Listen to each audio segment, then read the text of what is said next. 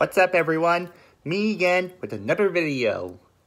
It's Thanksgiving, a time for family and friends, and uh, my, my top favorite, turkey, stuffing, and pumpkin pies. Mmm. And all the goodies in the world. In the spirit of Thanksgiving, I'm going to be looking at some Thanksgiving fails that I find very hilarious. And some a tad bit not so funny. So, let's get started. I am no cook, but I can follow the directions, which said to let the bird chill in the sink for a few hours. Oh, he chillin' alright. I mean, look at him. He's got a beer and a remote. He's going to watch some Dr. Phil, some football games, and all of his favorite TV shows. Yeah, he living the life.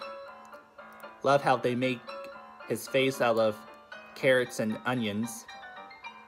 You're actually supposed to um, put the turkey in the water for a few hours. That's what the directions me meant. Turkey cookies. Nailed it! I mean, it looks alright, but, uh, this is why you should never ever try to copy off the original. But good try, though. This is what the picture expects you to do. In reality, this is your results. People try so hard, and I feel so bad for them. You know what? Don't pay attention to what the picture wants you to do. Just do, just do your own thing. Simple as that.